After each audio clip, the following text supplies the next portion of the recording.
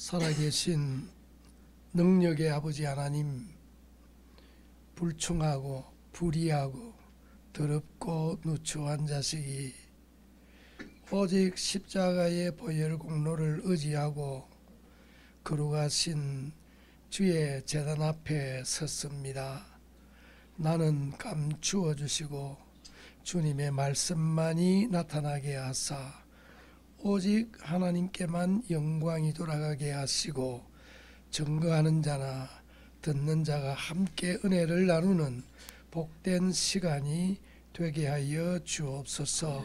시종을 주님 앞에 온전히 맡기었고 우리 구주 예수 그리스도의 이름으로 감사하며 기도하옵나이다. 아멘.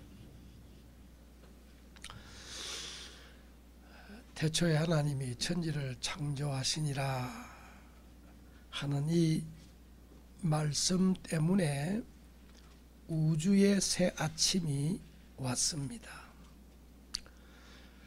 태초에 하나님이 천지를 창조하셨다는 이 말씀 속에는 여러 가지 뜻이 많이 있지만 한 세 가지로 요약을 해서 생각을 해볼 수가 있습니다.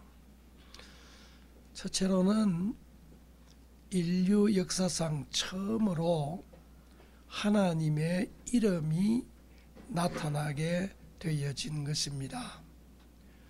삼일째 하나님께서 천지를 창조하셨습니다.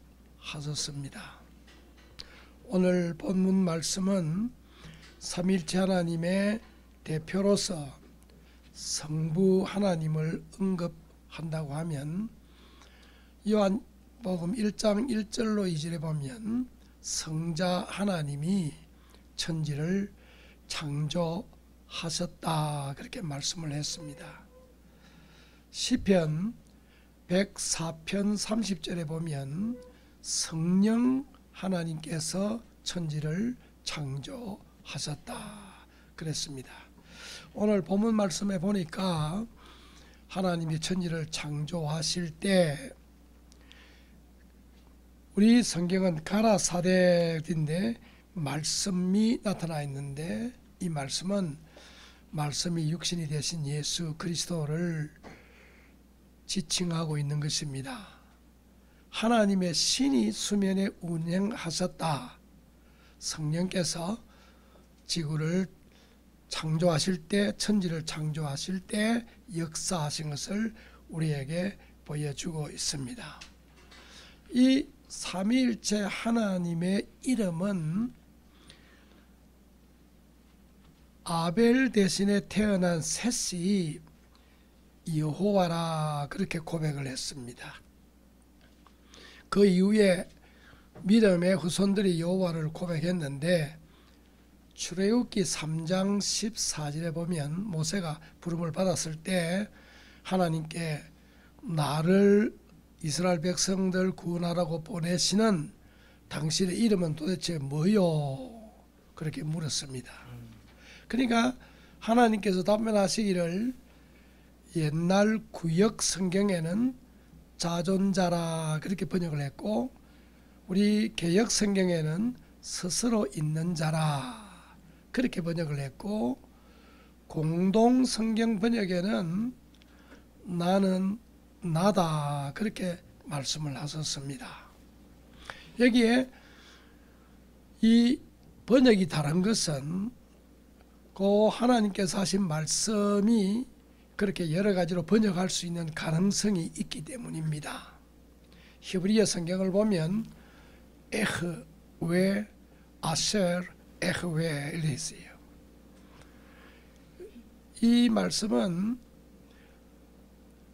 과거로도 번역할 수가 있고 현재로 번역할 수가 있고 미래로도 번역할 수가 있습니다. 그래서 영어 성경에 보면 I have been who I have been 나는 있어 온 자이다. 혹은 I am who I am 주로 그렇게 많이 번역되는데 그는 나는 있는 자다. 바로 나는 있는 자다. 혹은 I will be who I will be. 나는 앞으로 있을 자이다. 이것을 요한계시록 1장 6절에 보면 풀이하기를 나는 전에도 있었고 지금도 있고 장차 올 자이다. 히브리서 13장 8절에 보면 어제나 오늘이나 영원토록 불변하시다. 그것은 하나님의 존재를 동사적으로 풀이할 때에 그렇게 할 수가 있는데 그것은 정확하게 출애굽기 3장 14절의 내용을 정확하게 번역한 것이라고 볼 수가 있는 것입니다. 그런데 이 여호와라고 하는 이 이름을 고백하는 자들은 구원을 받고 하나님의 백성이 되고 그리고 여호와는 이스라엘의 하나님이 되신다. 출애굽기에서 계속적으로 말씀을 하는 것입니다. 그러니까 여호와는 하나님이시다 이렇게 고백을 하면 신약 성경에서 예수는 그리스도다 고백하는 것처럼 그렇게 고백을 하면 하나님과 언약 관계에 들어가게 되어서 그 고백하는 자는 하나님의 백성이 되고 하나님은 그의 하나님이 되시는 것이다. 우리 예수님께서 제 아들에게 너희는 나를 누구라 하느냐 그렇게 물었습니다. 그때에 베드로가 답변하기를 주는 그리스도시요 하나님의 아들이신이다. 이것은 예수 그리스도에 대한 풀네임을 말씀한 것으로 볼 수가 있습니다. 예수는 그리스도시고 하나님의 아들이시고 우리의 구주가 되신다. 그래서 우리가 잘 아는 대로 이 예수 그리스도 하나님의 아들 구주 요 말의 히라브 머리 글자를 따면 익티스라고 하는 말이 되는데 익티스는 물고기입니다. 그래서 초대교회에 성도들이 암호로 사용할 때에 물고기를 머리를 그리고 꼬리를 그려서 서로 암호를 삼았다 그렇게 말합니다. 이 베드로가 예수 그리스도의 이름 구약 성경에 여호와는 하나님이란 그 이름의 완성인 예수 그리스도 구주로 고백하니까 예수님께서 베드로에게 풀 네임으로 불렀습니다. 너는 베드로다. 바요나 시모나. 이 바요나 요나의 아들 이것은 family name이라고 말할 수가 있고 시몬은 기본 name, first name이라고 말할 수가 있고 그리고 베드로는 우리 예수님께서 시몬에게 붙여준 이름인 것입니다. 그래서 바요나 시몬 베드로 이것이 베드로의 full name이라고 말할 수가 있는 것입니다. 우리가 예수 그리스도를 구주로 고백하고 마음에 믿고 입으로 시인해서 부르면 로마서 10장 13절에 누구든지 주의 이름을 부르면 구원을 받으리라. 우리가 예수 그리스도를 고백하게 될 때에 예수님께서 우리에게도 그런 풀네임으로 불러 주신다. 그래서 우리의 이름을 생명책에 기록하여 주신다. 그래서 찬송가에 주님이 장차 재림하실 때 내 이름이 생명책에 기록되었을까? 내 이름을 불러주실까? 내 작은 이름을 아실까? 우리가 그런 찬송을 부르게 되어지는 것입니다. 이 창세기 1장 1절은 삼일체 하나님을 최초로 역사상 최초로 선언한 내용이 거기에 있는 것입니다. 두 번째로 요 하나님이 천지를 창조하셨다는 요 말씀은 시간과 공간을 창조하시고 역사와 구속 역사를 하나님께서 이루셨다. 하나님께서 빛을 창조하시고 어두움과 낯을 나누시고 해와 달과 별을 창조하시고 창세기 1장에 보면 나 어, 저녁이 되고 아침이 되니 하루가 되었다. 창조의 하루, 하루라는 개념이 생겨 됐습니다. 그리고 한 주간 동안 창조하고 일곱째 날 쉬시니까 한 주간이라고 하는 개념이 생기게 되어졌습니다. 그리고 창세기 1장 7절인가 보면 거기에 날들과 주야와 그리고 사시와 사시 봄 여름 가을 겨울 사시와 날들과 했는데 그 날들은 아마 달을 한 달, 한 달을 지칭하는 것을 볼 수 있고 연한을 지었었다. 그래서 하나님께서 천지를 창조하실 때 하루, 한 주간, 한 달, 사시, 1년이라고 하는 이 시간을 하나님께서 창조하셨다. 여기에 태초에 천지를 창조했다 그랬는데 요 하늘과 땅, 땅, 하늘과 땅 하나님께서 공간을 창조하셨다. 그리고 그 시간과 공간 속에 천지 만물을 만드시고 인생을 만드시고 인생이 살아가게 하셨다고 하는 것은 인간의 역사가 시작이 되어진 것이고 인간이 아담 하와가 타락하고 난 다음에 하나님께서 장세기 3장 15절에 원시 복음을 선포하시면서 장래의 십자가의 그림자를 우리에게 드리우 주심으로 바로 에덴 동산에서 아담 하와가 쫓겨나기 전에 구속의 역사가 시작이 되었다는 것을 우리에게 보여주는 것입니다. 그래서 1장 1절은 시간과 공간과 역사와 구속사를 창조하셨다. 그렇게 볼 수가 있습니다. 세 번째로 이 말씀은 천지를 창조하셨다고 하는 이 말씀은 여기 태초에라고 하는 말씀이 맨 앞에 나오는데 이 태초라고 하는 이 말씀은 앞으로 올 그 장래 미래를 암시하는 내용이라고 볼 수가 있습니다. 그래서 어, 신명기 11장 12절에 보면 새초에 새말에 그렇게 에, 말씀을 기록했는데 그 세초라고 하는 말이 여기 처음이라고 하는 말과 같은 것이고 그 세초가 새말과 연결이 되어져 있다. 이사야서 46장 10절에 보면 태초에 장래 일을 하나님이 정하셨다. 그러니까 알파와 오메가를 하나님께서 오메가를 이미 하나님께서 짐작 어, 그, 그 계획하시고 알파를 선포하셨다. 그래서 어, 대하더라고는 이런 신학자들은 말하기를 인류의 역사는 오메가 포인트를 향해서 가고 있다. 알파에서 출발해 가지고 오메가 종점으로 향하고 있다고까지 이렇게 말씀합니다.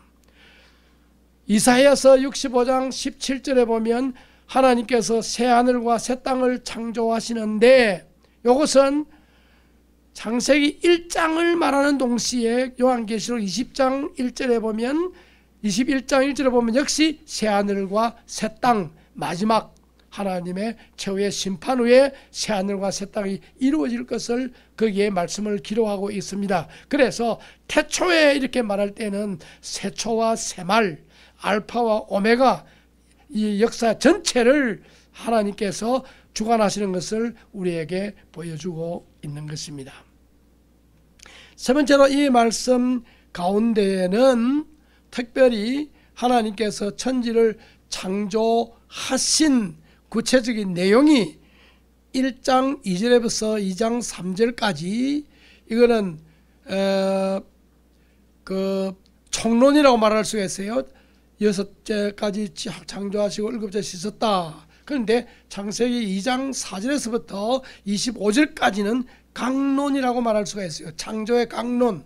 그, 그, 내, 그 안에는 하나님께서, 어, 인간을 어떻게 창조하셨는가, 동식물을 어떻게 창조하셨는가, 그걸 어떻게 관리하시는가 구체적으로 언급을 하는 것입니다.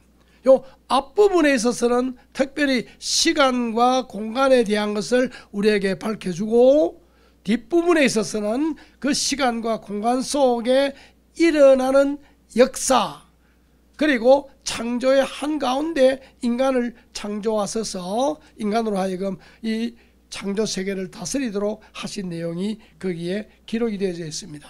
그래서 인간을 창조하신 것을 보면 특별히 하나님께서 인간을 창조하실 때에는 창세기 1장에 보면 1장 2장에 보면 세 가지 단어를 사용했습니다. 없는 데서 있게 하시는 창조. 그거는 어, 어 옛날 라틴 신학자들이 creatio ex nihilo라 그래서 무에서 유를 창조하서 창조라는 말을 사용하셨고 그 다음에 만드셨다는 עשה라고 하는 말을 썼는데 이거는 creatio ex substantio 이미 있는 것에서 있는 것을 창조하셨다. 그런데 또 하나님께서 사람을 지으시고 동물을 지으셨다. 그것은 특별히 흙으로 지은 거기에 생명을 불어넣었다. 그런데 전도서에 보면 동물의 혼은 땅으로 내려가고 사람의 혼은 하늘로 올라간다. 그래서 구원받는 것은 같은 생명이 있어도 생명이 있어도 구원받는 것은 인생뿐인 것을 말씀하는 것입니다. 이것이 하나님께서 우리를 창조하실 때 특별히 바라라고 하는 말로서 혹은 아사라고 하는 말로서 또 음, 넷째라고 하는 말로서 이렇게 창조하신 것을 보면 인간을 특별하게 창조하셨다. 그게 인간의 디그니티가 있는 것입니다. 인간의 존엄성이 거기에 있는 것입니다. 그리고 인간을 창조할 때에 사람을 창조하셨는데 남자와 여자를 창조하셨다. 그런데 남자와 여자가 하나님의 형상대로 모양을 따라서 창조하셨다. 하나님의 형상에 대해서 여러 가지 말이 많습니다만 그 인간의 성품이 하나님의 거룩하심과 선하심과 진실하심과 의로움을 인간에게 하나님께서 부여해서 범죄하기 전에 그렇게 만드셨다는 것이 그게 포함되어져 있고 또 인간에게 어떤 capacity 어떤 능력을 주셨는데 그것은 지, 정, 의 알고 또 느끼고 깨닫고 결단할 수 있는 능력을 인간에게 주셨다. 그리고 하나님께서 모양대로 창조하셨다고 하는 이것은 하나님은 신이시기 때문에 보이지 않습니다. 그러나 눈에 보이지 않지만은 보이지 않는 하나님이 우리 눈에 보이게 될 때는 우리의 모양으로 하나님께서 나타나신다. 그래서 하나님의 모양대로 하나님께서 사람이 되셔서 이 땅에 오실 때 예수 그리스도께서 우리와 같은 몸, 죄는 없어지지만은 같은 몸을 가지고 이 땅 위에 오셨습니다. 그래서 우리 인생을 하나님의 형상대로 모양을 따라 창조하셨다고 것 여기에 우리 인간의 디그니티가 있는 것입니다. 하나님께서 우리를 존엄하게 만드셨다고 하는 것을 거기에서 볼 수가 있습니다. 그리고 하나님께서 유일하게 아담과 하와를 창조하시고 가정을 조직하게 하시고 에덴 동산을 만들어 주셨다.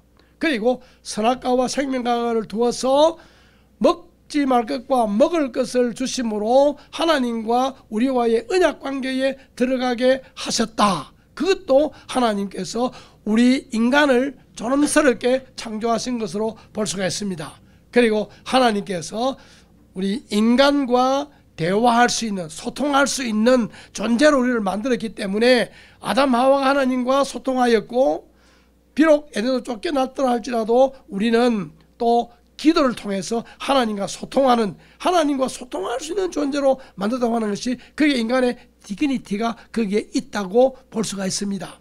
그리고 타락하고 난 다음에 하나님의 형상이 훼손되고 파산되었지만 예수 그리스도의 십자가의 보혈 공로로 다시금 그리스도의 형상으로 새로운 피조물로 지음을 받았다고 하는 이것이 우리가 그리스도의 형상을 입었다고 하는 이것이 우리가 하나님께서 우리에게 주신 디그니티라고 말할 수가 있는 것입니다.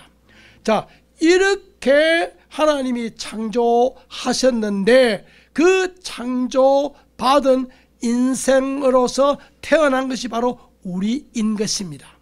그래서 우리가 이 땅에 태어날 때에 우리가 이 땅에 태어난 그 날을 생일이라 하나님께서 지으시니 세계 속에 태어난 날을 생일이라 그래서 그 사람의 새로운 시작, 새로운 아침으로 생각을 하고 죽을 때까지 기념하게 되어지는 것입니다. 이 땅에 살아가는 동안에 하나님께서 밤낮 한 주간 사철 한 달, 1년 이래서 이것을 반복하게 하심으로 잠언 전도서 3장 11절에 보면 하나님께서 때를 따라 만물을 아름답게 하심으로 우리에게 늘 새로움을 느끼도록 이 땅에 생일을 가진 사람들은 이 땅에 살아가는 동안에 새로움을 느끼도록 새로움을 느끼도록 오늘 우리가 해가 밝겠다고 해서 새로움을 느끼는 것처럼 이런 새로움을 느끼면서 사는 존재로 우리를 만드셨습니다. 그리고 우리가 예수 그리스도를 구주로 믿고 마음으로 믿고 영접하고 고백해서 우리가 구원함을 받고 성량함을 받고 거룩하게 되어지고 의롭게 되어지고 하나님의 자녀가 되어짐으로 인해서 우리가 이 땅에서 다시 태어나게 되었다. 중생하게 되었다. 본흑연하게 되었다. 영적인 생일을 가지게 되어졌다 하는 것입니다. 그런데 영적 생일을 가졌지만 범죄한 인생은 흙에서 왔으니 흙으로 돌아가니까 날로 날로 우리 몸이 낡아져가고 늙어져가고 쇠폐하여져 갑니다. 그런데 고린도서 4장 16절에 말하기를 우리의 육신은 쇠폐하지만 우리의 영은 날로 날로 새롭다 그렇게 말씀을 했습니다.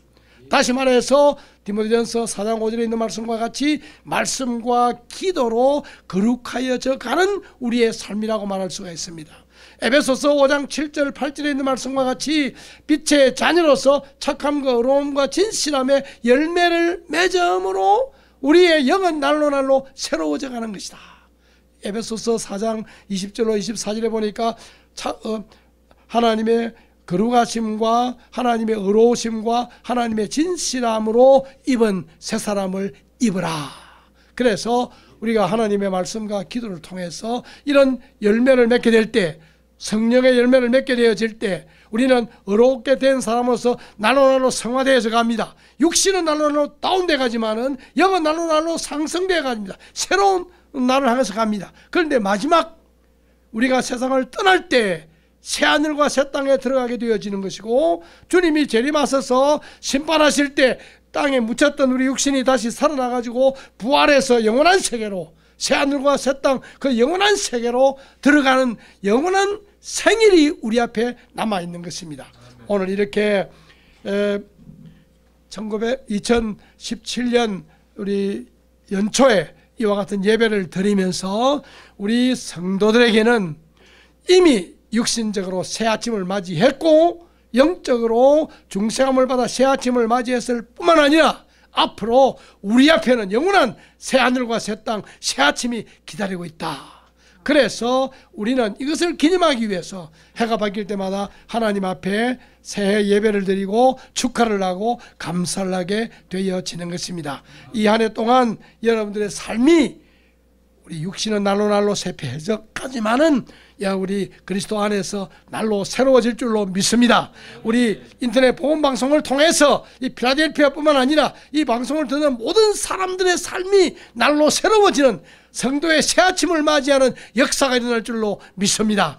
여러분들의 기도와 수고와 헌신과 봉사와 헌금과 여러분의 모든 섬김이 모든 사람들에게 새 아침을 맞이할 수 있도록 헌신하는 것이니까 얼마나 값진지 모르겠습니다. 여러분들에게 하나님께서 은혜를 베풀어서 날마다 새로워지는 역사, 여러분들이 장차 하나님 나라에서 새 아침을 맞이할 때까지 새로워져가는 귀한 축복과 은혜가 여러분들에게 충만하시기를 축원합니다. 이 시간 우리 잠깐 1, 2분 동안 사회자 나올 때까지 우리의 성도의 새 아침을 주신 하나님께 이 한 해도 새롭게 살아가는 한 해가 되게 하여 주옵소서 이렇게 기도하시기를 바랍니다.